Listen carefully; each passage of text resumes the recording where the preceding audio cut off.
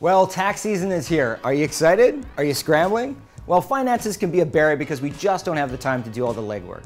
Some of us have been good at keeping receipts or keeping track of our expenditures, but still, it's a lot of work. Although there are a number of accounting programs out there, not all of them are responsive for small businesses or freelancers on the go.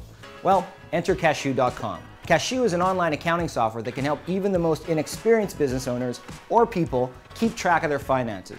Their goal is to make financial management easy so that you can focus on what matters, running your business. This award-winning, powerful, and pretty software boasts the number one iPad accounting software with great features such as receipt photo capture and attachment, air printing, and a bevy of invoice templates to make business easier.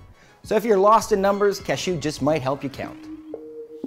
There was a time when gaming on the go was limited to just Game Boys or PSPs, but with the advent of smartphones and tablets, it's quickly changing. A recent report by IDC and App Annie suggests that people have spent more money on Apple and Google's App Store than on dedicated handheld devices.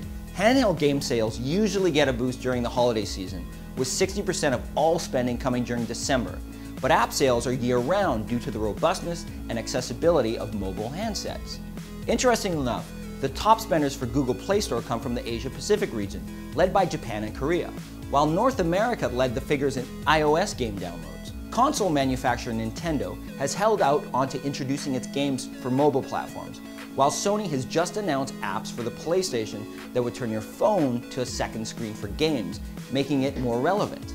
Given the shift in casual gaming behavior from players, it would be smart for console manufacturers to tap into mobile integration and utilize functions like social media and mini games that can sync with consoles to continue being relevant in this crowded mobile world.